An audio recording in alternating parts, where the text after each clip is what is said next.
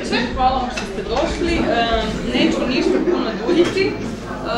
S obzirom da smo se ovako uzburkali u prostor izložbe, onda vam ne moram davati neki veliki uvod da vidite da e, pokušavamo raditi jednu seriju događanja koja je u dijalogu sa izložbom koja je trenutno u galeriji, koja se zove To je politička ekonomija budalo da ja sad ne radim neki veliki sažetak to, tamo ima kraj vrata puno letkića, pa koga zanima da malo više sazna i da nam se vrati i vidi izložbu, dobro došli. I e, za tu seriju predavanja smo e, pozvali prijateljske organizacije da napravimo taj program zajedno. Tako da ću zamoliti Marka da ispred Centra za radničke studije malo predstavi našeg gosta. Ja ću samo reći Primožu dobrodošao. I još ću poslati ako ima netko ko slučajno već ne dobiva naš newsletter, a to hoće, da se upiše. Hvala. ništa na poziv, kao što već spomenula Sabina, smo odlučili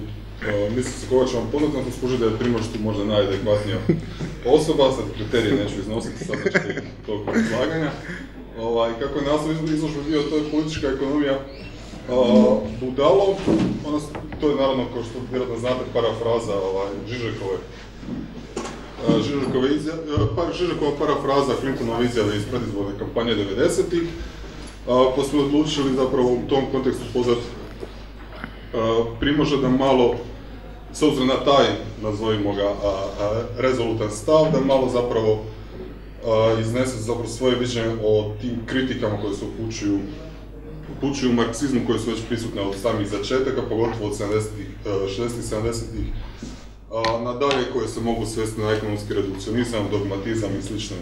optužbe, kao što je Primož rekao u, samom, u samom abstraktu, te osobe, iako se uglavnom oslanjaju na, na vrlo karikiranu predožbu o marksizmu, nisu sasvim, nisu sasvim neosnovane, ona osnovna teza primoža predavanja da, da se sa tim optužbama treba razračunati ne ono čistim odbacivanjem, koliko god znalo biti uh, iritantne, nego da se treba i pozivanje na nekakav ontološki primat klasne borbe, već po onom primožu, a možda je produktivnija ulazna točka Marksova, Marksova teorija fetišizma kao zapravo puno suvisi alat za obračun sa ovim optužbama koje se stalno ponavljaju. Tako da, Primož priča neki 45 minuta, vjerojatno sat. Mislim, vidit ćemo zapravo kako, kako bude išlo, nakon toga naravno pitanja i diskusija. Hvala, hvala na pozivu i hvala svima što ste došli. Ja sam spremio za puno više, nisam baš dobar u ekonomizaciji, spremio sam za puno više od 45 minuta, ali, da, ali e, pošto, pošto obično mi se očitava da, da pričam prebrzo, sad to može biti uh, predno. Znači, um, pokušat ću da, da pričam brzo, ali svejedno razumljivo, da uspijem pokriti, pokrit sve, uzeo sam dosta opširnu temu, Uh, pa ću zato prvo napisat uh, osnovnu strukturu predavanja tu na, na ove komande papira. E, čisto za orijentaciju, znači e, kad se produži da, da se, kad se održi da se možete vratiti. Znači, e, započeti, započet ću sa dva osnovna pitanja, recimo ko, kome ću uvesti problematiku marksizma i ekonomskog redukcionizma i kako nam može vraćanje na teoriju fetišizma kod toga pomoći i otvoriti možda neka nova polja ili područja koje nisu dostupna tradicionalnom marksizmu ili koje su u njemu nedovoljno pokrivena, um, onda ću nastaviti sa jednom uh, pojednostavljenom verzijom uh, trinitarne, Marksove trinitarne formule i uh, onda ću preostatak predavanja, odnosno njegov osnovni deo biće, biće podeljen na na analizu klasne dominacije u kapitalizmu onda, onda rozne i na kraju problem rasne dominacije, odnosno Uh, odnosno segregacije i, i rasizma. To će nekako biti osnovna struktura uh, predavanja i kao što sam najavio, započet ću sa, sa dva uh, osnovna pitanja. Uh, prvo od toga je šta nam može Marksova teorija fetišizma i mistifikacije reći o tematskim područjima koje Marksova kritika političke ekonomije ne pokriva. Znači, Marksovom kritikom političke ekonomije misli na njegove kasnije radove, znači negde od uh, 1857. nadalje, znači Grundrisse i onda rukopise iz 61. 63. i sam, sam kapital. Znači, taj, ta kritika političke ekonomije Marksova sama uh, uh, moglo bi se reći da, da sama sama se radi o dve, dva paralelna teorijska kursa. Sa jedne strane, tu, tu je kritički prikaz samog uh, kapitalističkog uh, proizvodnog načina kao takvog, sa druge strane, to, to je kritička analiza i kritika uh, spontanih mistifikacija ili automatskih mistifikacija koje, koje taj način proizvodnje, sam način kako, kako je organizovana proizvodnja u kapitalističkom društvu, društvu uh, proizvodi. Znači, to, to su, um, tako izgleda kritika političke ekonomije u, zrelim ili kasnim uh, Markse, Marksovim radovima i kod toga je bitan uh, sam razvoj Marksove misli, jer recimo, možda ako ste čitali posljednji broj tog filozofskog časopisa, čemu mogli ste pročitati prevod bitnog Heinrichovog teksta Praksa i praksa i fetišizam, u kojem se bavi baš tom uh, razvojem Marksove teorije, ideologije i prelaz na teoriju uh, fetišizma. I recimo kad se bavimo time bitan je sam razvoj uh, Marksove misli jer u ranom razdoblju recimo u radovima poput nemačke ideologije Marks još pretpostavlja I e, pre svega u komunističkom manifestu Marks još pretpostavlja da su kapitalistički društveni odnosi uh, transparentni, odnosno da sa razvojem kapitalizma uh, postaje, postaju sve transparentniji, znači da se može eksploatacija, klasna dominacija i te stvari da se mogu videti golim okom i da će sukladno sa razvojem kapitalizma rasti klasna svijest radnika, što će im dati političku motivaciju i moć da da, se odupro i svrgnu taj način proizvodnje, dok u kasnijem razdoblju, recimo kad se počne intenzivnije baviti kritikom političke ekonomije, uh, Mark shvati da, da nije tako, znači da je i kapitalistička uh, stvarnost sama sve pre nego transparentna, znači da su društveni odnosi, pre svega društveni odnosi koji, koji se vežu na, na društvene antagonizme i odnose dominacije sve pre nego transparentni i očigledni, znači da, da, ima, da ima kapitalističko društvo neku, neku posebnu, kako bih rekao, sam način organizacije kapitalističke proizvodnje kao svoju spontanu kao jedan od svojih spontanih učinaka proizvedi to da, da, se, da se način na kojeg je, na kojeg je organizovana klasna dominacija, pre svega klasna dominacija i klasna borba krije da nije, da nije očigledan, da, da nije direkt, direktno vidljiv. Znači, jednostavni empirizam kojim, koji je Marks upotrebljavao kojim se bavio na početku svoje, svog teorijskog putanja, tu, tu više nije dovoljan. Znači, nije dosta da se spustimo u praksu i naprosto pogledamo stvari kakve jesu, jer stvari kakve jesu na, na empirijskoj površini u kapitalizmu same se pojavljuju u nekom uh, mistificiranom obliku. Znači, uh, sama, sama, sami odnos odnosi društvene dominacije i antagonizama, pre svega klasnog, nisu, nisu uh, direktno, direktno vidljivi. Znači, izražavaju se na način da, da kriju uh, sa, sami sebe, odnosno to je jedini način na, na koji se mogu izražavati. To možda zvuči dosta konfuzno, ali time ću se baviti u ovom drugom delu uh, detaljnije kod uh, uh, analize Marksove trinitarne, trinitarne formule. Za sad ću samo to postaviti kao tvrdnju i kasnije ću dodatno argumentovati. Znači, odnosi društvene dominacije u kapitalizmu se izražavaju samo na način a, a, a, svog skrivanja. Znači nije dovoljno, kao što je mislio mladi Marks u, u polemici sa njemačkim idealističkim filozofima, da se manimo filozofiranja i pogledamo stvari kakve jesu, jer one se prikazuju kao, kao nešto drugo nego što stvarno jesu. Znači to, to je prva recimo bitna poruka ili bitna poenta Marksove teorije teorije fetišizma i mistifikacije iz njegovih kasnijih radova, a druga stvar na koju moramo obraćati i polagati pažnju je da je Marksov rat sam nedovršen. Znači, kapital nije, Marks, Marks je umro pre nego što je napisao kapital do kraja, znači kapital u obliku koji postoji pokriva samo osnovne ekonomske aspekte kapitalističkog društva, znači on nije iscrpna kritička analiza ili teorija kapitalističkog društva kao celine, nego samo njegovih naj, najbazičnijih e, ekonomskih vidika i recimo kapital ne pokriva ni temu države ni rec, i, i samo lateralno pokriva temu, temu pravnih odnosa recimo samo na brzinu prođe kroz analizu djelovanja tržišta radne snage i samo ima samo nekoliko napomena o kolonijalizmu, rasnoj segregaciji, o rodnoj nejednakosti, odnosno o rodnoj dominaciji. Znači sve te teme kojima se Mark kojima se Marks planira obaviti, ostale su u nekom fragmentarnom stanju, kao nekoliko, nekoliko fragmentarnih napomena, ali nisu dobile, barem ne u Marksovom radu, svoju adekvatnu teoretizaciju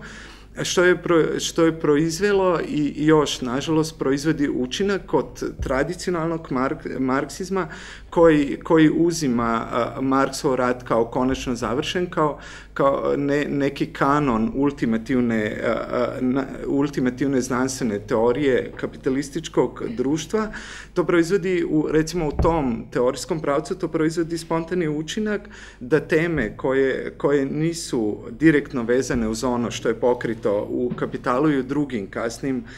Marksovim spisovima, znači da se te teme tretiraju kao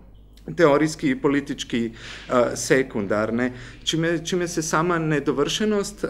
a, Marksovog, Marksovog rada a, tretira kao, teorijski, kao epi, epistemološku i analitičku a, vrlinu, koja bi trebala ukazati na primarnost ekonomske teorije i klasne politike u odnosu na kritičku teoriju kapitalističkog društva kao celine i borbe protiv neekonomskih oblika društvene dominacije. Znači imamo, imamo neki spontani proces po kojem se ono što je zapravo manjak uh,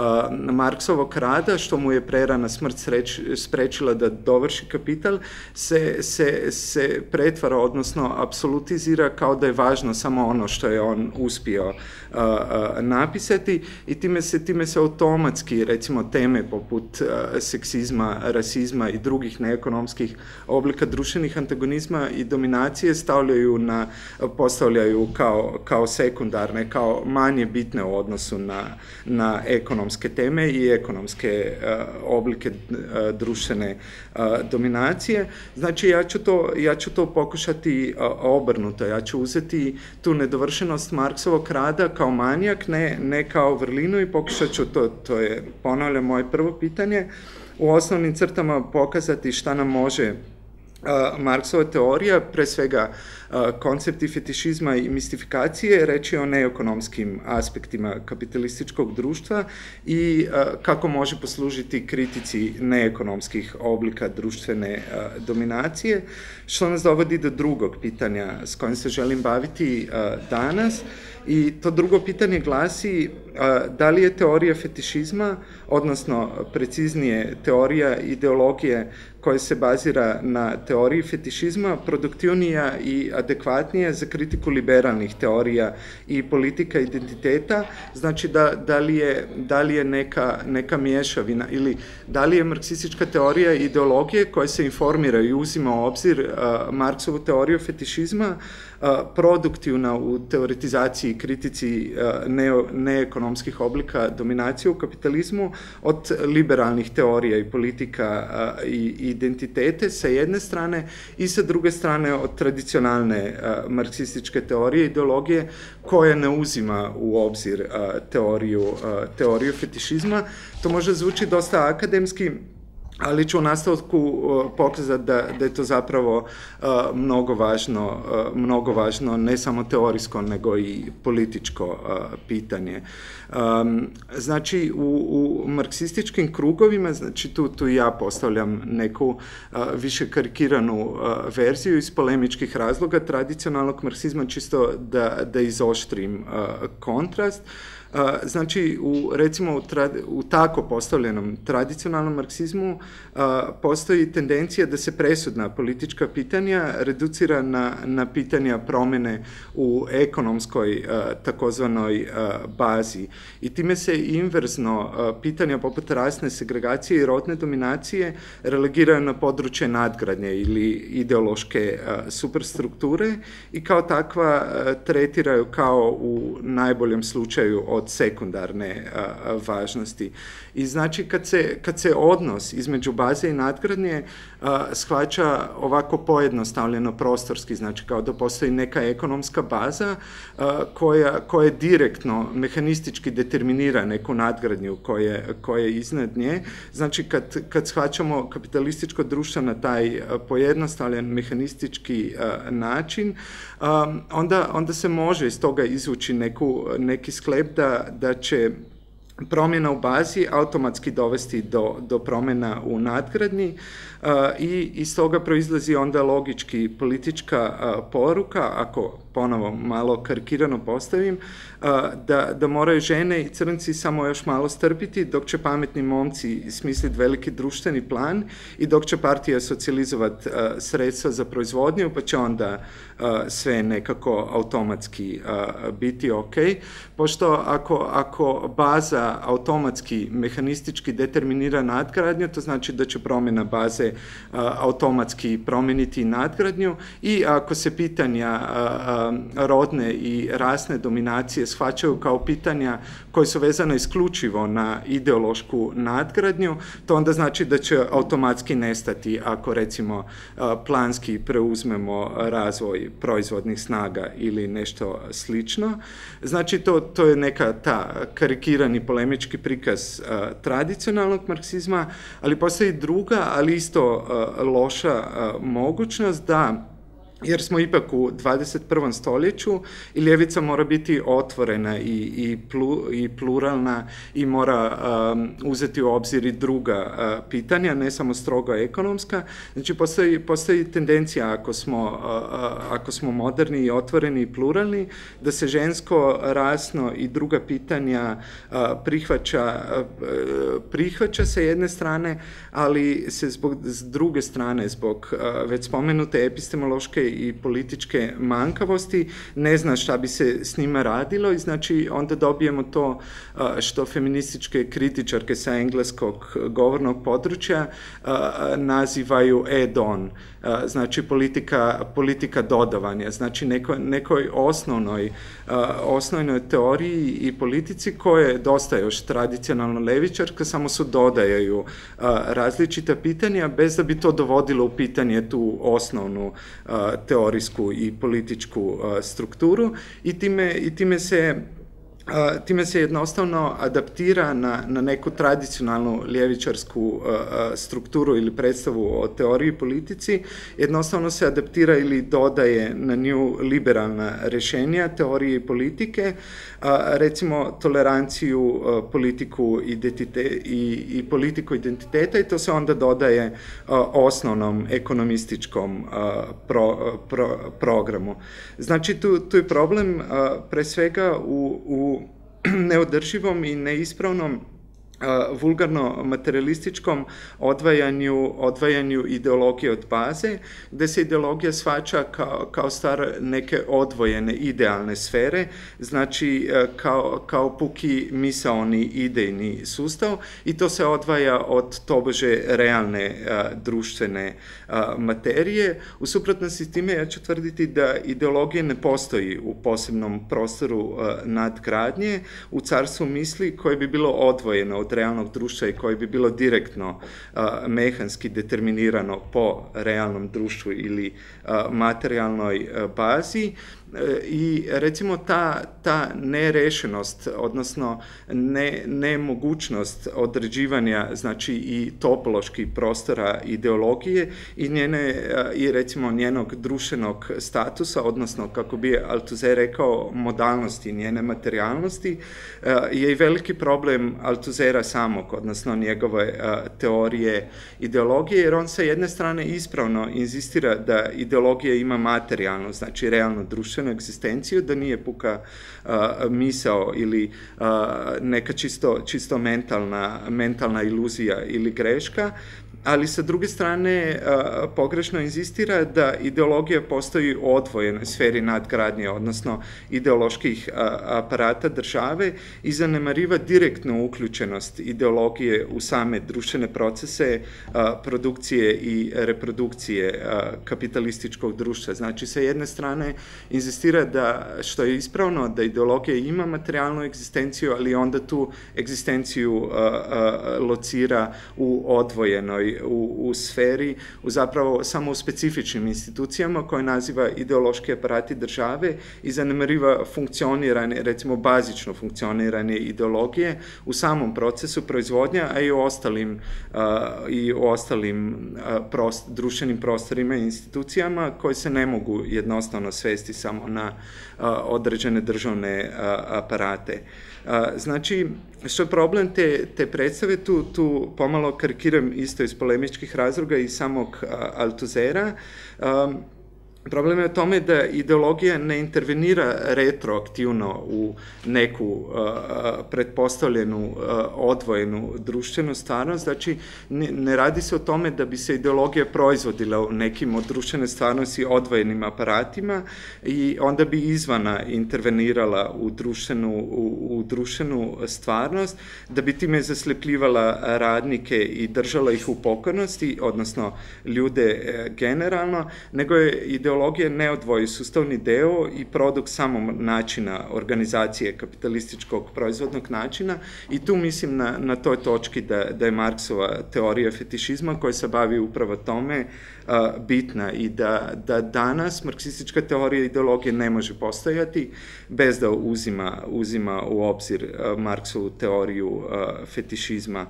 Um, odnosno mora proizlaziti iz teorije fetišizma kao što, što je jedna od Marksovih formulacija objektivnih misalnih oblika a, koji nužno proizlaze iz kapitalističkih a, društvenih odnosa i to na najbazičnoj a, razini, odnosno ne postoji nikakva društvena razina koja bi bila iznad, iznad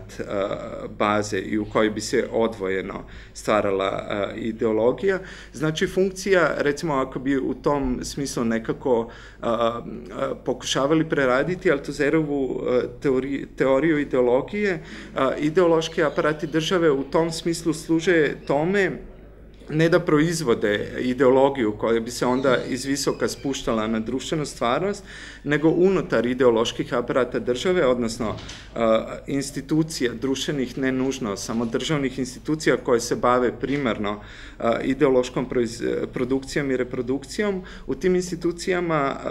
um, te uh, mistifikacije koje spontano proizvodi uh, uh, kapitalistički način proizvodnje samo dobijaju neki sistematizirani uh, oblik, neki uh, postaju zaključeni i unutrašnje koherentni diskurzi koji imaju određene uh, politične učinke, ali i to je važno, recimo, nas protezama tradicionalnog uh, marksizma, nikako se ne radi o instrumentima uh, vladajuće uh, klase, s kojima bi ta svesna, svesnom manipulacijom legitimirala društvenu eksploataciju i dominaciju. A, suprotno, radi se o načinu na kojeg se kapitalistički društveni odnosi a, spontano prikazuju svojim učesnicima, što znači kapitalistima ništa manje nego radnicima, znači kapitalisti nisu ništa manje a, počinjeni a, a, mistifikacijama koje proizlaze iz kapitalističkog a, načina a, proizvodnje nego, nego radnici. Um, I u tom smislu te, Marksova teorija fetišizma kao podlaga teorije ideologije predstavlja polazišće tako za, za kritiku te pojednostavljene scheme uh, baza nadgradnja, kao i ekonomskog uh, uh, redukcionizma, kao i nenačelnog pluralizma ljevice. To je ono što sam ispostavio kao dve, recimo, inverzne ili zrcalne greške. Sa jedne strane ekonomski redukcionizam, sa druge strane nenačelni pluralizam, koji je zapravo ekonomski redukcionizam sa, sa dodajanjem u imenu, u imenu pluralnosti ili ili, um, ili otvorenosti suvremene uh, ljevice. I još jedna uh, početna napomena, još uvek smo kod uvoda, odnosno te prve tačke, pitanja rodne i rasne uh, dominacije nisu samo ili isključivo ideološka pitanja, baš zbog toga jer ne postoji odvojena idealna sfera uh, ideologije, znači ne samo da ta pitanja nisu samo ideološka pitanja, nego ništa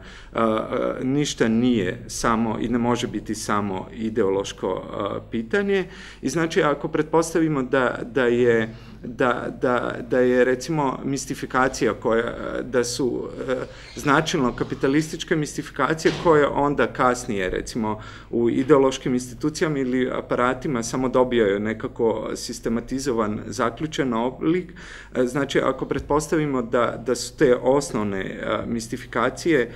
stvar, stvar baze, onda, onda je borba na području baze koja zanemariva pitanja ideologije, odnosno im daje sekundaran status, nužno reduktivna i time, time neuspešna jer ne pokriva ni sve aspekte baze. Znači, ako pretpostavljamo da, da su u nekoj ekonomskoj bazi stvari jasne, stvari jasne i transparentne, jer je ideologija sigurno smještena u školski, crkveni i, i tako dalje, ide, ideološke aparate, time, time, time ne vidimo, ni, ni, znači ni, nismo u stanju ispravno analizovati i tumačiti samo dešavanje u bazi. Znači i naš, i naš pokušaj ekonomskog redukcionizma, znači redukcije teorije politiko samo nabavljene ekonomije nužno je neuspešan jer zanemarivamo da je ideologija ili recimo bazični je da su određene mistifikacije neodvoji deo same ekonomske baze, čak ako pristamo na, na tu podjelu. I sa druge strane, politika, politika koja strogo ekonomskim pitanjima samo dodaje liberalna rešenja neekonomskih um, pitanja, isto, isto iz istih razloga uh, nužno, uh, nužno, nužno je pogrešna. Znači, i, i dodavanje liberalnih rešenja i, i vulgarno marksistički prezir do takozvanih identitetskih pitanja samo su dva pojavna oblika iste teorijske i, i politi, političke uh, sljepoće. Znači, to, to bi bio taj uvodni deo, uh, malo, malo duži uvodni deo i sad, uh, sad, ću, sad ću preći bez nekog elegantnog mosta, nisam ga uspio smisliti, pa ću, pa ću dosta nenadno proći na, na samu trinitarnu formulu i tu ću se malo više služiti tim papirima da, da bude jasnije, jer kod, trinitarne, kod trinitarne formule Kod trinitarne formule radi se o kulminaciji uh, Marksove teorije uh, uh, fetišizma i uh, i mistifikacija koja dolazi na, na samom kraju uh, na samom kraju treće, treće knjige Kapitala, znači um, u nekoj, u nekoj mjeri pretpostavlja uh, poznavanje teorije vrednosti i čitanje kapitala, ali pošto sam imao priliku da, da da, da vežba na pokusnim zečićima studenta na Ljubljanskoj filozofskoj fakulteti koji nemaju preznanje i nisu čitali kapital, pokušat ću to sad ponoviti bez pretpostavljanja poznavanja čitave Marksove ekonomske teorije. A, može najprije šta znači trinitarna formula je zapravo Marksov, Marksov prikaz kulminacija pojavnih, recimo najrazvijenije oblike pojavnih oblika kapitalističkog društva, kako se ta prikazuje svojim učesnicima samim. Znači, mistificiranih pojavnih oblika na koje se kapitalistički proizvodni odnosi prikazuju samim učesnicima, znači i radnicima i, i, i kapitalistima i Marx to, Marx to podeli zbog toga trinitarna formula na, na tri elemente. Prvi je rad i nadnica, drugi je kapital i profit, odnosno kamate.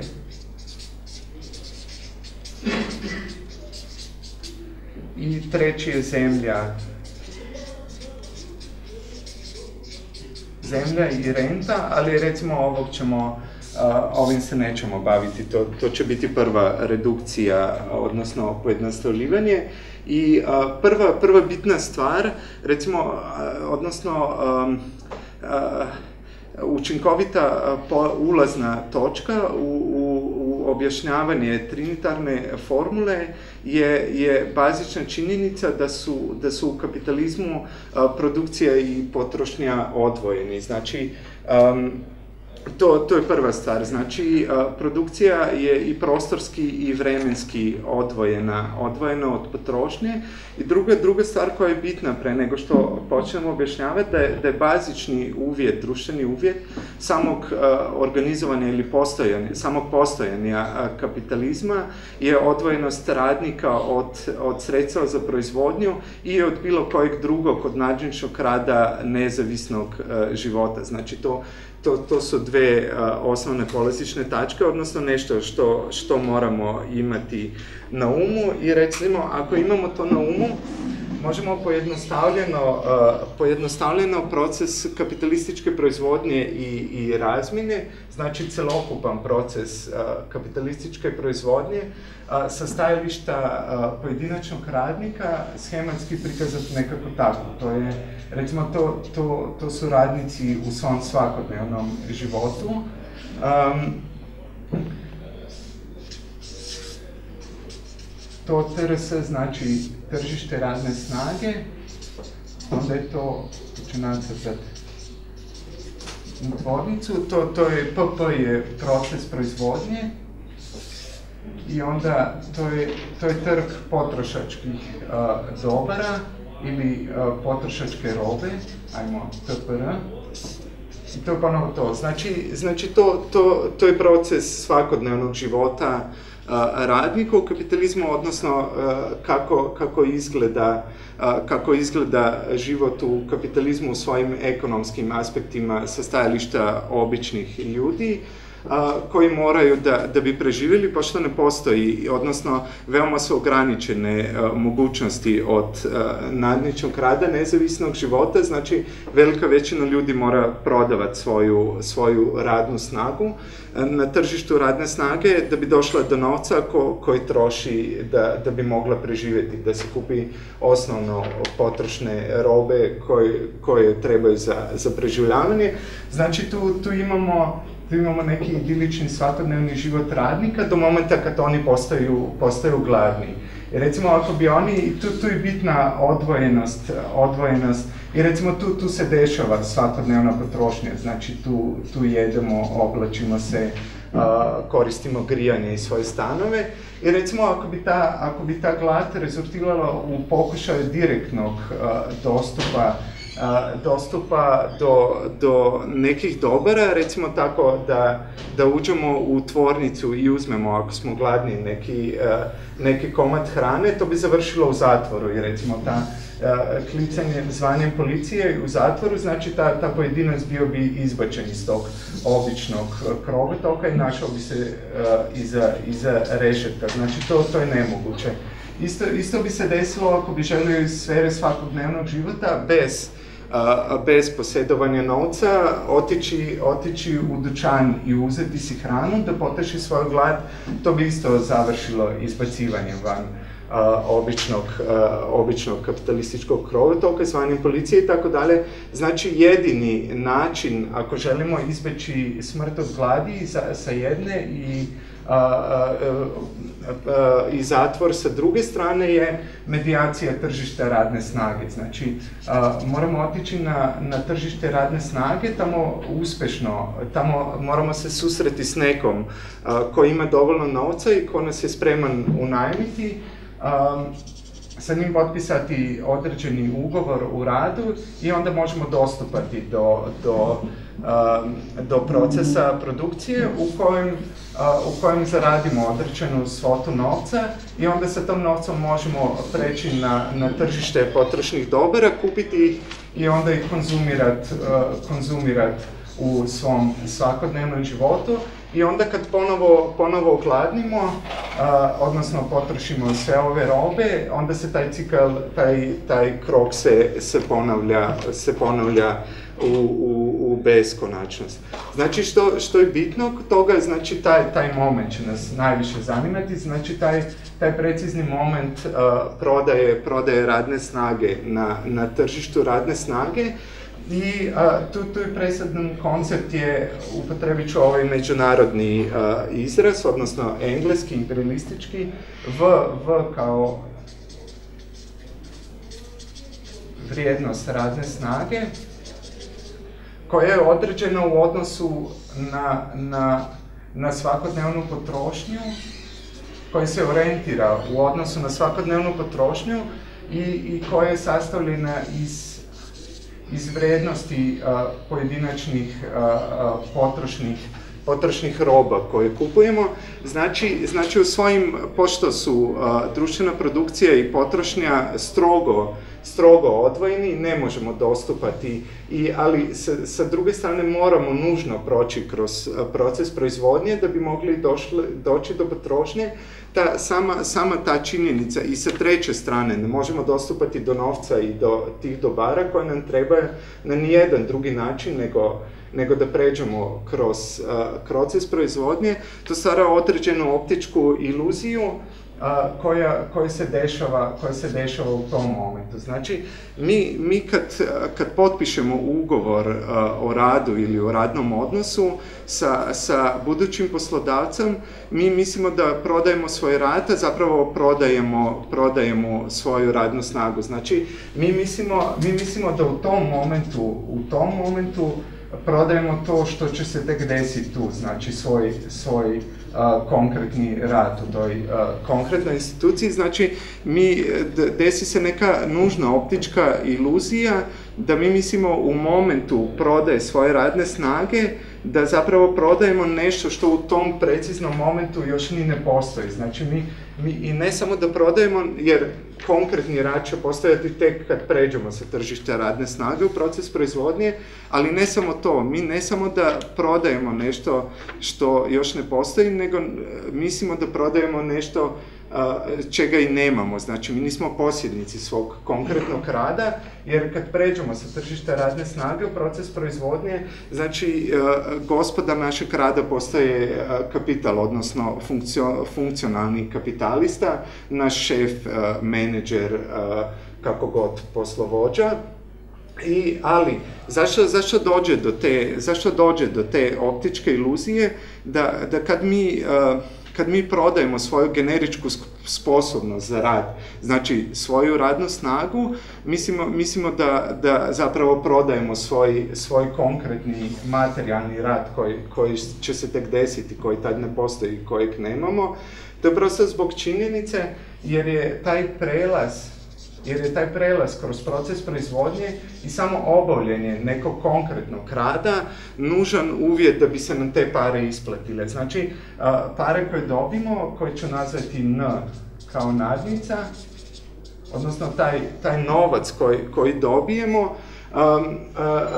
uh, u toj spe, specifičnoj temporalnosti do, dolazi na kraju. Znači, mi, mi kad izađemo tu negde dobijem, dobije, dođemo do nadnice i taj prelaz kroz, kroz konkretni rad je nužan, nužan preduvjet toga da bi došli do nadnice i zbog toga, zbog toga je razumljivo zašto se nam u, u našoj spontanoj svakodnevnoj percepciji, u našim predstavama a, to poklopi, znači a, to, to se nam spoji u glavi, znači mislimo, mislimo da prodajemo svoj rad zbog toga što moramo nužno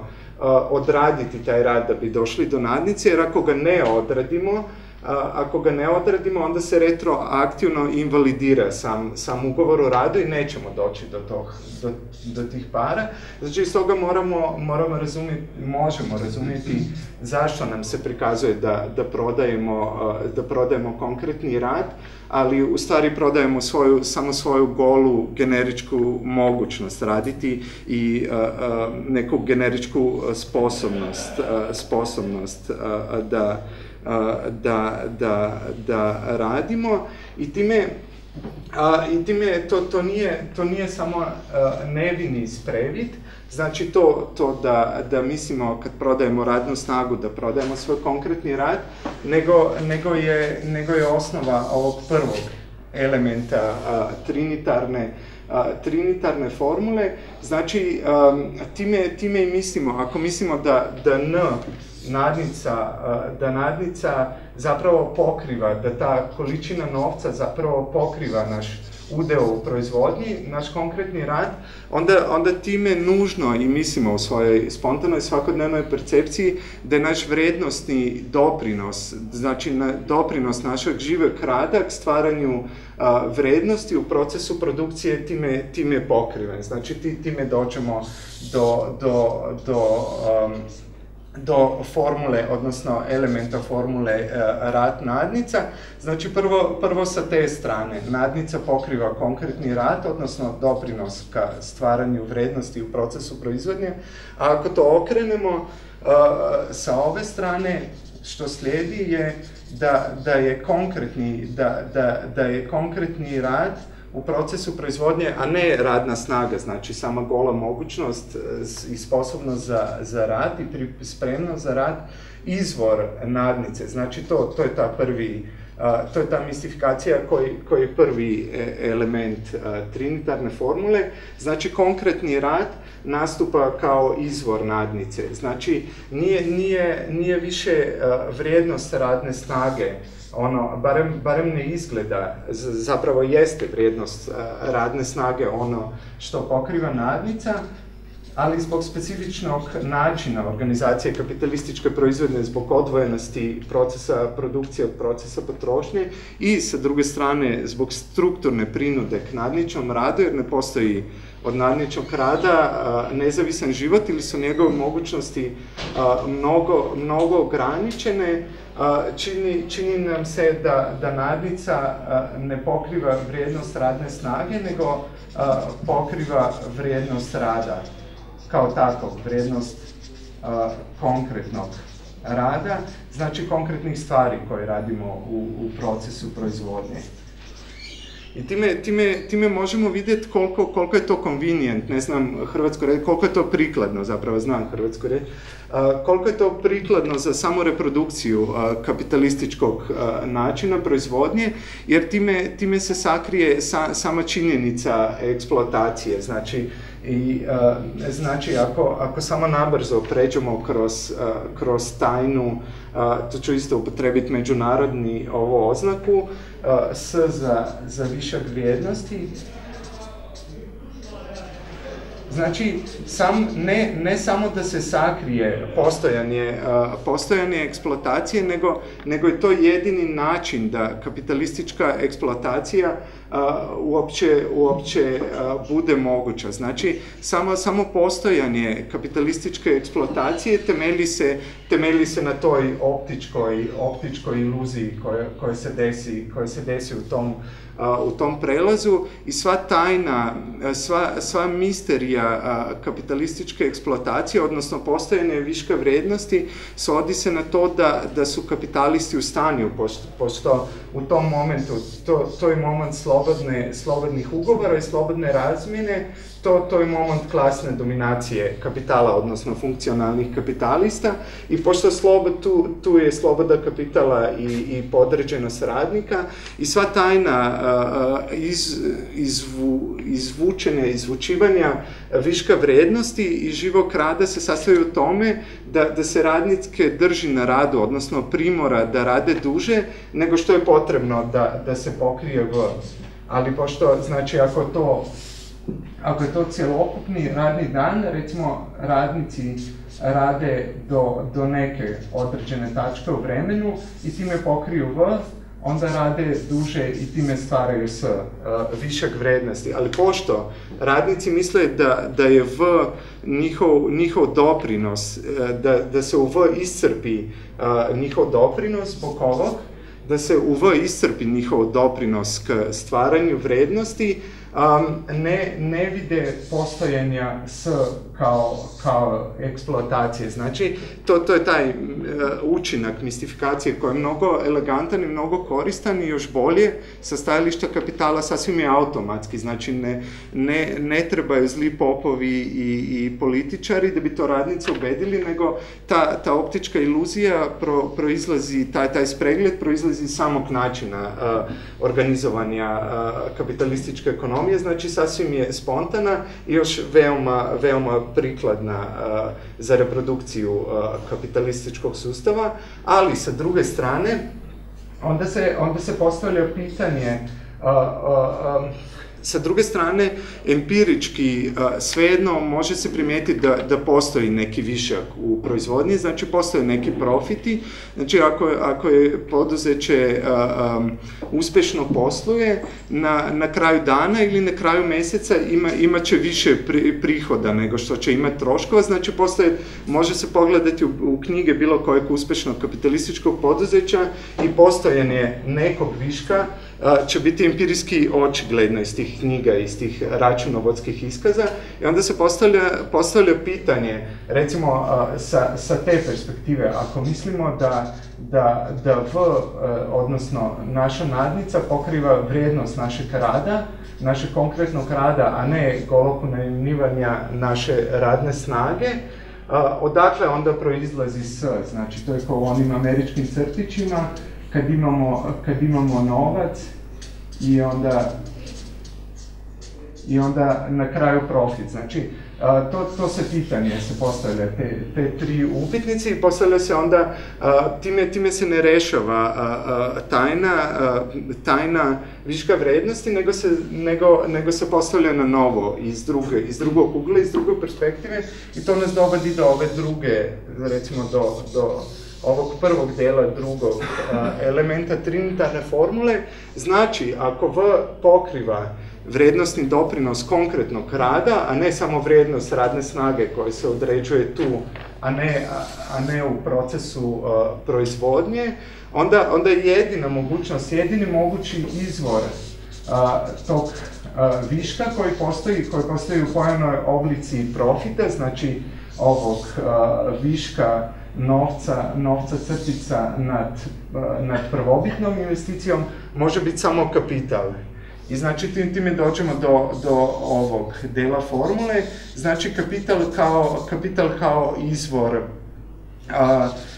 kapital kao izvor, izvor profita, odno, da, profita kao, kao pojavne oblike, pojavnog oblika viška, viška vrednosti. I tako, tako izgleda da je sve ok, znači tu, tu je samo, sama činjenica eksploatacije time u spontanim predstavama učesnika kapitalističkog načina proizvodnja je skroz pokopana, znači ne može se nikako više, više dokopati, dokopati do nje. I kapital izgleda kao, kao izvor viška i zbog toga izgleda i to da, da si kapital, odnosno funkcionalni kapitalisti privatno pripririraju, taj višek izgleda skroz ok, skroz ok i fair, ali, ali mistifikacije u, u u, u toj drugoj, u tom drugom članu, odnosno elementu trinitarne formule idu i dalje, znači ti, time se ne iscrpe, jer a, realno postojeći viškovi u kapitalizmu uvek se dele na, na poduzetnički profit, što ćemo označivati kao P samo profit i kamate. Znači svaki, svaki novac crtica, taj, taj novac koji proizlazi na kraju a, i koji je, koji je zapravo razlika između u, u uspešnim poduzećima između a, a, prihoda i troškova, Uh, uvek, se, uvek se raspodeli na, na poduzetnički profit ko, koji se vraća funkcionalnom kapitalistu, znači koji se vraća tu i, i na kamate koje idu banki koja je dala prvi, onaj uh, prvi polazišni profit, da, da je tek uh, kredit, da je tek mo, bilo moguće ustanoviti poduzeće i početi uh, sa proizvodnjom. I znači, tu, tu, znači svaki taj, ako tako nacrtamo, tu ide od iz banke proizlazi prvobitni novac, prvobitna investicija, onda proizlaze um, iz procesa proizvodnje proizlaze robe, kad se one prodaju, tu se stvori nova crtica i jedan deo kao poduzetnički profit vraća se u proces proizvodnje, funkcionalnom kapitalistu, drugi se vraća kao kamate, se vraća a, novčanom a, kapitalistu. I znači tu, tu izgleda tu izgleda preskočit ću ne, nekoliko koraka, a, a, jer inače neću imati vremena za, za ništa drugo i još mi do, a, nestaje ovog papira, ali, ali u svakom slučaju... a, ali a, u, svakom, u svakom slučaju tu, a, kad dođe do te, do te raspodele, a, ispustit ću kako dođe do te raspodele, ali kad se desi ta, ta raspodjela, um, ova kamate izgledaju kao čisto povećanje količine novca. Znači izgledaju kao, kao da novac sam proizvodi a, višak novca, a, dok, dok se ovaj, a, dok se, dok a, poduzetnički profit izgleda kao da je nadoknada za rad nekog specijalnog radnika koji je menedžer, šef, poduzetnik. Znači, izgleda, taj, taj profit, profit ne izgleda kao da, da izvira, znači kad, kad dopunimo ovaj element, profit zapravo, profit zapravo ne izgleda kao nešto što, što je proizveo kapital kao abstraktan koncept, nego, nego se raspodeli. Poduzetnički profit izgleda kao da ga je proizveo konkretni rad, znači rad kontrole organizacije a, proizvodnje, a, samog funkcionalnog, funkcionalnog kapitalista kao osobe. I tu, tu imamo recimo i dodatne, a, dodatne mistifikacije u smislu nečega što bi mogli nazvati mistična aura poduzetnika. Znači, jer onda se postavlja pitanje zašto, zašto su ti prihodi poduzetnika toliko viši od prihoda radnika? I onda je odgovor zbog toga što je on Steve Jobs i ima genijalne ideje i, i tako dalje, a ne zbog toga što mu, što mu pripada, što mu pripada deo, deo viška vrednosti u pojavnom obliku profita, koji, koji, su za, koji je zapravo stvoren e, živim radom. Znači, to, to je ta druga a, a, mistifikacija koja, koja skrije, znači druga a, a, mistifikacija u ovom elementu, koja skrije, ako ova skrije samo odnos ili postojanje eksploatacije, a, ova skrije ili uradi nevidljivim odnos klasne dominacije. Znači, stave se i kapitalista i radnik se stave na istu razinu, imamo tu prividnu egalitarnost, kao radnici oboji rade, znači obavi, obavljaju svoj posao, samo jedni su glupi, a drugi su Steve Jobsi i zbog toga Steve Jobsi imaju ogromne novčane nadoknade, dok, dok ovi obični radnici imaju male novčane nadoknade, znači sakrije se i postojene profita kao, kao nečega što upravo nije nadnica i time, e, znači, e, poduzetnički profit se reducira na, na neku vrstu nadnice, iako je realno sve pre nego obična, obična nadnica, Um, I recimo, ne, ne samo da se sakrije, kad se nivelizira, znači svako u tom procesu samo obavlja svoj posao, da se time nivelizira i sakrije odnos klasne dominacije u kojem su kapitalisti, poduzetniki e, nadređeni, vladaju u procesu proizvodnje radnicima, nego se taj preokrene, znači imamo poduzetnički šovinizam u kojem, u kojem se postavljaju e, poduzetnici kao intelektualno, kulturno e, superiorni, kao oni za razliku od, za razliku od ove radničke gama gde su u štanju štediti, investirati i, i tako dalje, znači ne, ne potroše svega, znači imamo taj ciničan obrat kad, kad se radnici sa svojim, sa novcem koji, koji primaju za prodaju svoje e, radne snage se jedva reproduciraju, znači jedva skupe pare da se mogu reproducirati, da, da si kupuju osnovne stvari i stalno se moraju vraćati tu. I onda imamo taj ciničan prezir, taj poduzetnički šovinizam, pa, pa i dobro im je zašto ne znaju štediti kao mi koji smo vredni i znamo se odrekati i onda imamo dovoljno para uštedimo za, za odnosno dovoljno novca za, za nove investicije i time ispada kao, kao da, je sasvim, da je sasvim prirodno i, i prirodno i pravedno da, da su poduzetnici mnogo bogatiji i da to ne proizlazi od, iz neke društvene nadređenosti ili odnosa dominacije, nego čisto iz toga što iz njihovih mističnih unutrašnjih značilnosti, recimo genijalnih ideja nosa za investicije i tako dalje, znači iz njihove mistične aure. I onda se pojavi još dodatan moment mistifikacije, pošto, pošto kamate, znači ako se poduzetnički profit reducira na, uh, odnosno ako kao izvor poduzetničkog profita izgleda konkretni rad kapitalista, onda se, onda to čisto novčani, novčani, kako bi rekao, povećavanje količine novca. Izgleda kao, kao iz, iznimno čudan i mističan, neobičan proces i kamate se pokazivaju kao čisto povećavanje količine novca, što, što isto razumljivo jer sa perspektive bankara Um, to i tako izgleda, znači on ne zna šta se dešava tu, on samo investira određenu količinu novca i onda čeka da mu se na kraju meseca vrati, vrati obrok i kamate, znači on nema pojma i ne zanima ga, odnosno ne zanima ga osim u osnovnim crtama. Šta se tu dešava? I sa njegove perspektive, znači zbog toga zove Marks kamatonosni kapital naj, najmistificiraniju i najkompleksniju, odnosno najkompleksniju, najrazvijeniju, a istovremeno najmistificiraniji pojavni oblik kapitala, pa zbog toga jer se sve reducira na, na tu osnovnu formu kapitala, znači količina novca proizvodi, proizvodi, proizvodi um, veću količinu novca i dok u toj, recimo u toj formuli kapital profit, još, još uvek možemo videti, iako na mistificiran, a, a, a, distorziran način da, da višak da viškovi u proizvodnji, odnosno profiti, još donekle proizlaze iz, iz procesa proizvodnje, to, to je kad gledamo sa stajališta kamatonosnog kapitala, odnosno sa stajališta bankara,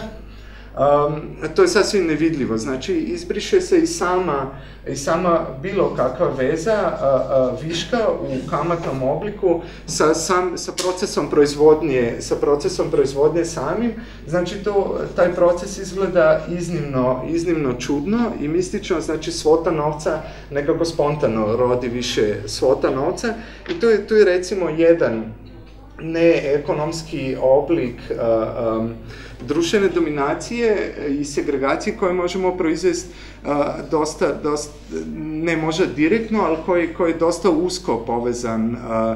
sa, tom, sa tom oblikom. Znači novac, novac srdica, to je antisemitizam, znači moderni, moderni antisemitizam koji je povezan, znači ne iscrpi se pojava antisemitizma, ne iscrpi se sa tom formulom novac, viš, veća količina novca, ali je njen bitan, bitan sastavni deo je znači teskoba uz to, uz tu, uz tu mističnu sposobnost kreditnog kapitala ili kamatonosnog kapitala da, da prividno sam po sebi pro, proizvede više novca. I pošto su tradicionalno jevreji u Europi bili zbog svoje vjeroispovesti i zbog katoličke zabrane posuđivanja novca za kamate i sa druge strane zbog toga što su bili jevreji bilo im je zabranjeno obavljati sve recimo legalne formalno gotovo sva formalno legalna zanimanja. Veći dio njihove delatnosti bilo je upravo posuđivanje novca za, za kamate što, što je kršćanima, barem katolicima, barem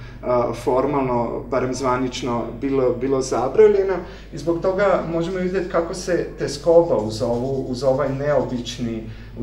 ovu neobičnu mistificiranu formu a, može pripeti na, na neke konkretnu, konkretnu a, ljudsku grupu, odnosno na konkretnu religioznu, religioznu društvenu, društvenu grupu i kako može funkcionirati. Znači to ne objašnjava a, same eksterminacije jevreja, ali objašnjava kako, kako, kako ih se moglo izdvojiti kao posebnu društvenu grupu, kako su bili objekt sumnje i proganjanja koji, koji onda zavisi od istorijske kontingencije kako oblik poprime, ali sa druge strane i ova, i ova kombinacija može objasniti,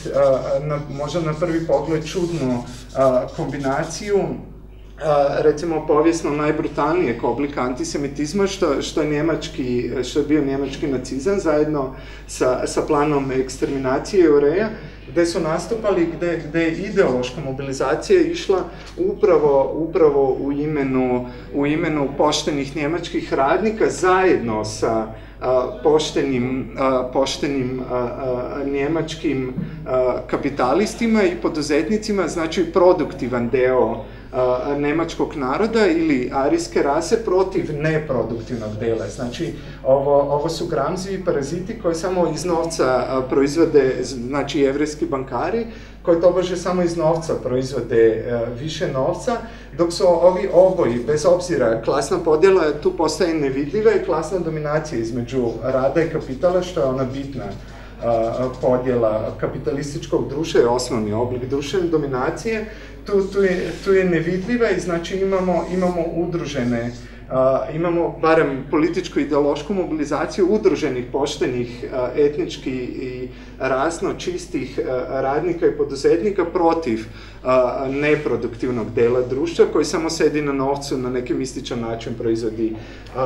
više novca. Znači, uh, hoću reći, taj, taj moment, recimo, uh, mistifikacija koja spontano proizlazi iz kapitalističkog načina proizvode, naravno ne može objasniti uh, nacizam kao, kao takav u svim njegovim istorijskim, političkim, društvenim specifikama, ali može sa druge strane, i to, to mislim da, da je domet teorije fetišizma, može pokazati a, a, može, a, može pokazati da bez tih spontanih, recimo automatskih mistifikacija, taj tip mobilizacije ne bi bio ni moguć. Znači, ako, ako ne bi mogli, znači taj, taj tip, recimo, ujedinjenog fronta produktivnih produktivnih poštenih radnika i poduzetnika protiv parazita, znači bez tih mistifikacija koje proizlaze iz trinitarne formule, taj tim mobilizacije bio bi a, mnogo teži, odnosno a, poprimio bi verovatno druge oblike. A, znači, a, to je to što se tiče, a, što se tiče trinitarne formule. A, sad nisam, da, sad nismo ni, ovaj. aha, sad nismo ni na pola, pa ne znam, mislim, to, to je bio neki zaključeni, sad možemo ostalo pa drugi put ili... Da se pretpostave pitanja. Aha, dobro. Sad prekineš da se kao pitanje pretpostavlja neko da neko bude dovoljno uviđava da postavi pitanje ovo što... Ili, ili mogu preskočiti ove detaljne analize i samo ispričati zaključak koji se, a, mislim, koji se veže na, na na rot i rasu. Mislim da, da ne bude skroz uzaludno, jer možda su neki došli slušati o tim stvarima, pa sad nisu, da. A, znači, onda, onda ću preskočiti se i, i a, ići na zaključak, pa možete onda u raspravi da, da a, pitate detajle, a, odnosno ono što sam ispustio. Znači, zaključak glasi, ako sažmemo problematiku roda i rase, koju pretpostavljamo, nismo je čuli, odnosno neekonomskih a, oblika društvene, društvene dominacije, oni nisu direktno određeni u, u procesu a, pro, produkcije, ali su njime posredno a, a, determinirani. Znači, recimo, konkretno u, u, u, u slučaju rodne dominacije, to znači da žene ne mogu biti zbog golog potencijala imati ima decu, 100%, 100% raspoložljive kapitalu i potisnute su u sferu reprodukcije, znači brige, brige o drugima i u kućanstvu kućanstvu i, i van uh, kućanstva i sa druge strane rasno obilježeni ljudi nisu, nisu uh, korisni kapitalu, znači većinom predstavljaju apsolutno, apsolutno višak uh, populacije, beskorisnu, ekonomski beskorisnu populaciju i potisnuti su, su u, u urbana geta i, i zatvore, odnosno prepušteni uh, represivnim aparatima države, znači nisu, ne, ne radi se o, o direktnoj, direktnoj ekonomskoj dominaciji, nego, nego indirektnoj. Znači, rodna segregacija produkt je politike E, socijalnih institucija države, intimnih mikrosocijalnih odnosa, dok je rasna segregacija sa, sa druge strane producira se u represivnim aparatima države, kroz uh, urbanistič, urbanističnu i graničnu politiku, uh, selektivno podeljivanje državljanstva, državljanstva i, i tako dalje, što znači da ne možemo direktno izvesti ili derivirati tih oblika dominacije iz ekonomije i za nju, i za nju značilnih mistifikacija. Znači, teorija fetišizma nam je osim, osim u slučajevima antisemitizma i tih recimo nekih, nekih oblika oblika društvene segregacije i, i dominacije, to, to je baš brutalan oblik, ali teorija fetišizma nam je tu više, to bi bila moja zaključna poenta, nam je više korisna kao, kao neki bitan a, metodološki uvid. Znači, ako, ako bi mi aplicirali sad teoriju fetišizma, i to je samo kritika, jer to sam radio pre nekoliko mjeseci, sad se kajem tu javno, recimo, ako apliciramo teoriju fetišizma koje su zapravo spontane mistifikacije koje proizlaze iz ekonomskih odnosa društvene dominacije u kapitalizmu neposredno na, na neekonomske ili ne direktno ekonomske odnose društvene dominacije, time, time nismo ništa manje ekonomsko redukcionistični, samo smo možda teorijski malo više, malo više uh, sofisticirani, znači uh, ne ide se o tome, barem to sad mislim, sad je pitanje šta ću misliti posle nekoliko mjeseci, ali recimo trenutačni rezultat je da, da nije, teorija fetišizma nije, nije neki abstraktni model koji bi sad uh, aplicirali da time updateujemo uh, marksističke ili generalno teorijske poglede na ekonomske oblike društvene, društvene dominacije, nego moramo postupati metodološki ili epistemološki na sličan način kad se, kad se bavimo kad se bavimo tim pitanjima, znači moramo ne, ne da apliciramo već pretpostavljeno abstraktnu schemu ili teorijski model na nova područja, nego moramo obnoviti samu, samo izvornu epistemološku gestu Marksova, recimo kad Marks kaže i sami odnosi ekonomske dominacije u kapitalizmu nisu transparentni, proizvode svoje mistifikacije, ne možemo ih videti golim okom, znači potreban je, potreban je neki intelektualni napor, neki, recimo patetično, filozofski rečeno, neki rat abstrakcije, da, da bi došli do, do, do njihovog bistva. Isto, isto važi Isto, isto važi i za druge oblike društvene dominacije koji nisu neekonomski. Znači i oni, uh, i oni proizvode na, na bazičnoj razini određene uh, mistifikacije koji se onda u različitim ideološkim institucijama sistematiziraju, imaju uh, političke učinke, ali to, to ne znači da, da je taj proces isti kao, kao u primjeru ekonomskih oblika dominacije. Znači šta, šta nam može ponuditi u tom smislu Marksova teorija fetišizma je da, da pokaže osnovni, osnovni epistemološki postupak, a ne i samo, samo, samo rešenje tog problema. Znači, to bi bio zaključak. Hvala.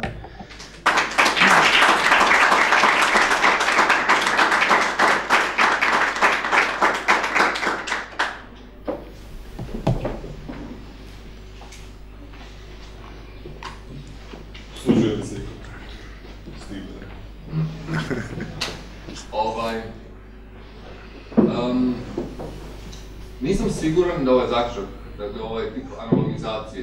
između, dakle, ti si zapravo najavio teoriju fetišizma, zapravo niti nijednom objasnio što zapravo Marks misli pod fetišizmom, nego se samo prešao na ovaj, da. na, na o mistifikaciju da, da. naravnog oblika, dakle rada, ono što Marks negdje i kaže da je to temeljni oblik svih inverzija u kapitalizmu, dakle percepcije. pa onda imaš sve ovo što si izveo, dakle, ove tri, tri faktora proizvodnje, mislim što sam se kasnije, mislim, postao poznat kao teorija faktora proizvodnje koji svaka dobiva adekvatno, to kaže adekvatnu kompenzaciju za svoj udio u radu i tako dalje, tako dalje. Međutim, i sad naravno,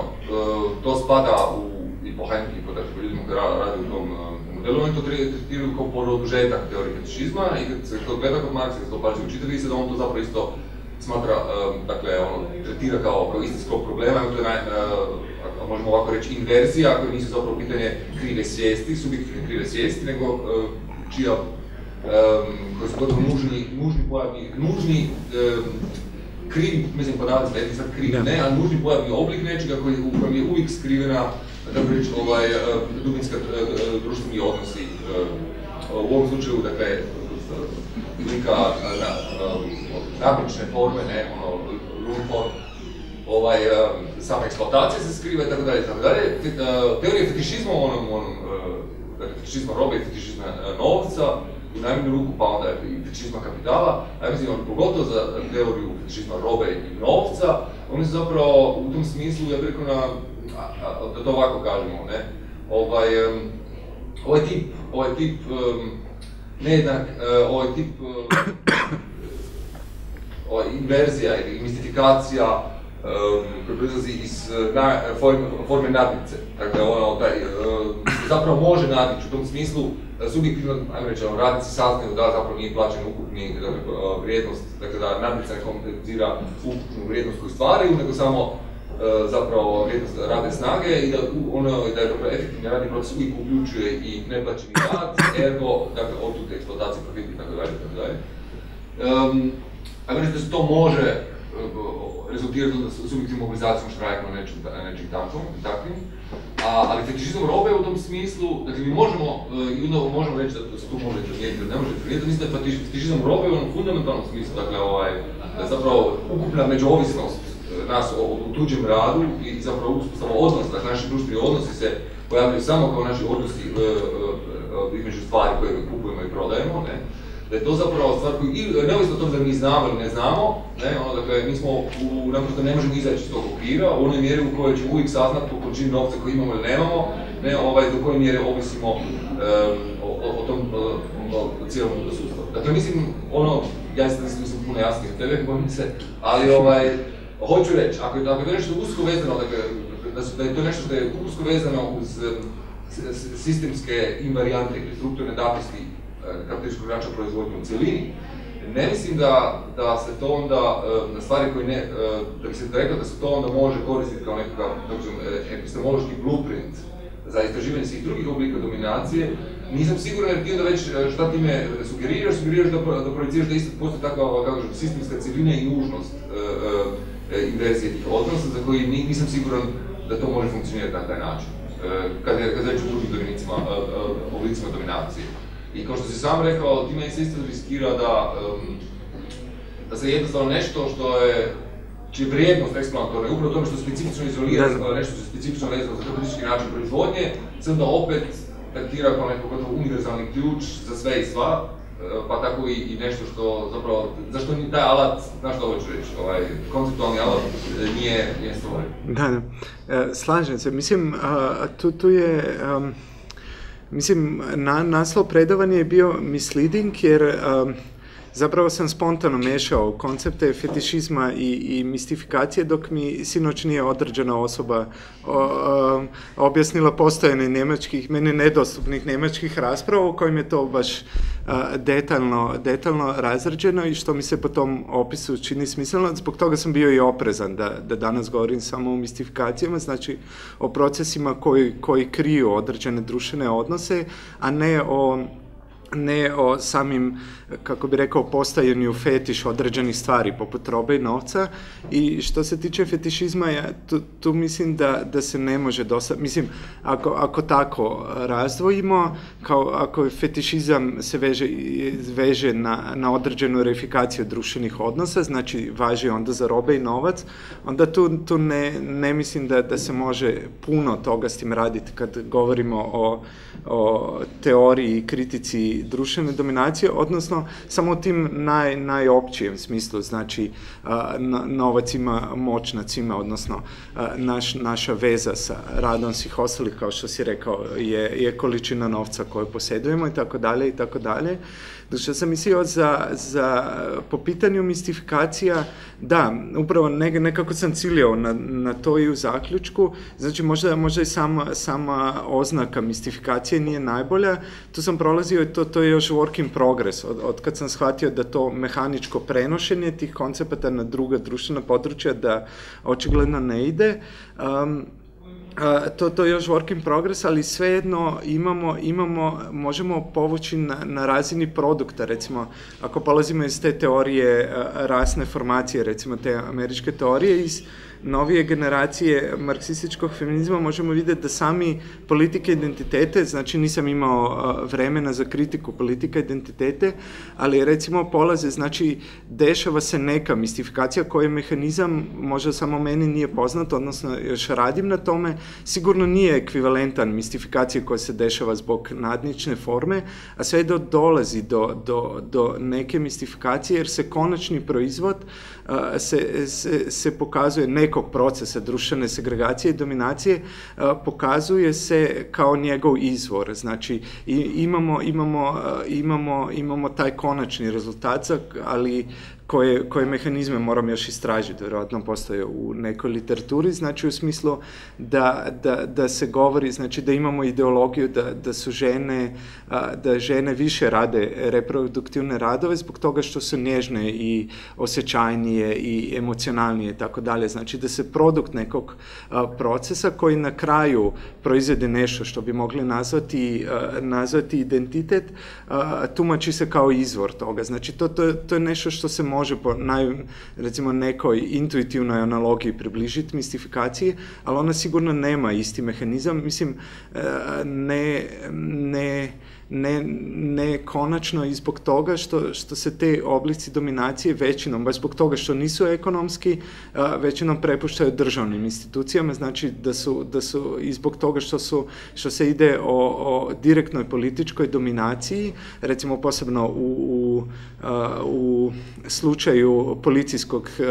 poli, policijskog odnosa do migranata rasnih manjina i tako dalje, znači tu ne možemo govoriti o tom skrivanju koje je značilno za za, za ekonomske mistifikacije. Možda možemo govoriti o nekim drugim mistifikacijama, ali dobro, to, to je još work in progress, ali bitno je iza čega uh, ću stajati možda više od par meseci je to da, bitno, bitno je to da, da se te mistifikacije u navednicama de, dešavaju u bazi, znači tu, uh, tu, tu sam nekako bliže Foucault nego tradicionalnom marksizmu, znači da, da su ti, da, da ti diskursi idu u obe strane i da se proizvode u, i u svakodnevnim uh, praksama izvođenja recimo društvene moći i društvene dominacije, znači nisu, nisu nešto što bi neko proizveo nekoj instituciji onda aplicirao. Znači na tome najviše inzistiram da, da su ti procesi bazični i da su u svom diskurzivnom aspektu recimo ne, neodvojivi od samih recimo praksi. A, na ovom tragu koji se sad i naveo dijelom ga malo govorio kao nisi još stigao do toga, ali možda projesi pa da pojasniš. Dakle, ove tri kategorije koje si naveo, koje nisi stigao izložiti, klasa, rod i rasa, imaju oštru diviziju. Klasa je recimo kategorija političke ekonomije u okviru današnjeg predavanja, rod i rasa su, barem u nekom dominantnom mainstream diskursu, biološke kategorije. Znamo sve s dekonstrukcijom, bla bla i s marksističkom kritikom biologije. Ali generalno u legitimaciji, dakle u liberalnom diskursu, vrlo često i vrlo čvrsto iz Američke akademije imate, bila ona poznata rasprava na, sa Harvardskim dekanom, koji je kako njegova curica kad je, kad je kupio kamiona, kad ima mama kamion, tata kamion i dijete kamion, pa su se igrali i šta ne nešto. I bla bla, su išli, dakle, feministe su krenule protiv njega, a on je pozvao, mislim pozvao, ono, subtilno dao hint, onda je došlo krcato sociobiologa koji su najeminentniji u području, koji su ono elita od prilike biološke znanosti, koji su rekli ono potpuno u pravu, mozgovne strukture, neurone se spaju, bla bla bla bla. E, da li e, neki tip, dakle tu je očito jedan ogroman ono, tvornica, jedan veliki pogon diskursa znanstvenog koji legitimira jednu reakcionarnu poziciju, sa rasom isto tako možemo pronaći od ovih recimo naivno plemenitih Heisenkovih inequality of men do današnjih kako se ovaj naš fašist, Sesardić, koji tvrdi da su ono narančasto kosi crnci naprosto gluplji, da su opravdano nisu na tom mjestu. Mislim, ne karikiram jer to su aktivni dionici intelektualne scene. Da li je mistifikacija u ta, u ta dva sektora, dakle u rodu i rasi, uh, možda utoliko budući da je tako očita kao zapravo kaza, da li je zapravo teža, odnosno da li uh, analogija iz klase koju znam iz fetišizma robe recimo, iako ga spoznamo ovo što je Stipi sugerirao, možemo nekako prozrest kao, ok, analogno možemo proširiti, a u slučajevima rode i rase da je puno teža, zato što ima puno veću kontra argumentaciju koja je jako usidrena. Da li ti se to čini iz ovog što si istraživao? Mislim, da, donekle da. Mislim, mislim, može se povući crtu upravo, upravo na razini ekonomskih i neekonomskih oblika dominacije i onda, onda razlike o, recimo, legitimizacijskim diskursima ko, koji ih prate i koji ih i uspostavljaju i produciraju. I tu, tu donekle izdrži ta podela. Ja, ja bi je možda samo malo relativizovao. Recimo, um, do, ne smemo zaboraviti da, da je do recimo dok ne dođe do nekog razvijenog stupnja kapitalizma i radnička klasa važila za rasu za sebe. Znači i, i ona, ona je bila recimo u mainstream diskursima znanstvenim i poluznanstvenim i spontanim tumačena kao posebna rasa i ima taj i kulturalistički i biologistički aspekt još uvek u onom što sam nazvao poduzetnički šovinizam. Znači nisu, nisu poduzetnici samo pametniji i ingeniozniji od radnika, ne, nego im tu pametnost i ingenioznost i to se može pročitati u, u časopisu Forbes ili, ili u recimo znanstvenim navednicima istraživanjima o društvenoj raspodeli IQ, genetici, novoj eugenici i tako dalje. Znači da, da postoje neki izuzetni pojedinci koji su nekom neobičnom igrom slučaja svi uspešni poduzetnici. Znači ima i tu moment recimo biologizma i a, istraživanja različitih, a, kako bi rekao, diferencijacije u a, sposobnosti i ono intenzivnosti neuronih impulza u, kod radnika i kod poduzetnika. I onda ima, znači ne bi sasvim isključio biološke komponente i u ospostavljanju recimo i reproduciranju klasne, klasne dominacije, dok sa druge strane a, rasa se sve više kulturalizuje a, kroz godine, znači nije, nije, više ni, a, nije više ni toliko biološki određena, ja bih rekao sigurno već skoro od drugog svetskog rata, od kraja drugog svetskog rata određivanje rase biološko postalo je pomalo politički upitno ili kako bi u, u najboljem slučaju, da, ne, nekomfortno i neučinkovito. Znači, rasa sama se sa druge strane sve više kulturalizuje. U smislu čak imamo taj obrat o kom, o kom piše Balibar o francuskom odnosu do, do migracije, znači do, do migracije radne snage iz, iz bivših francuskih kolonija, gde, gde je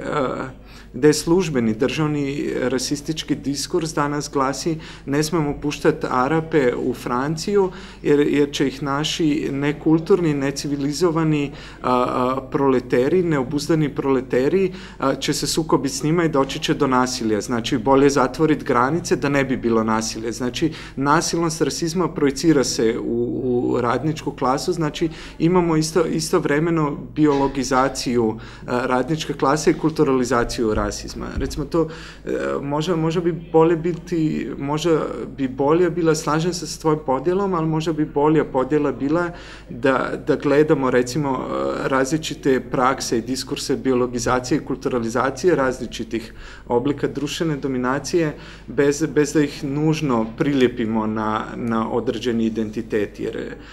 možemo primijetiti kako se svima, čak u rodnom pitanju isto imamo te preokrete od biologizacije žena do, do kulturalizacije rodnih razlika i kombinacija svega.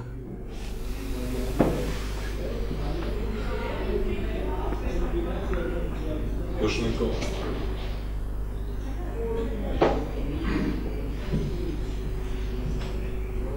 Što nešto dodatiš? Možda da dovršiš ovo. Da. To je još sad vremena. Sad.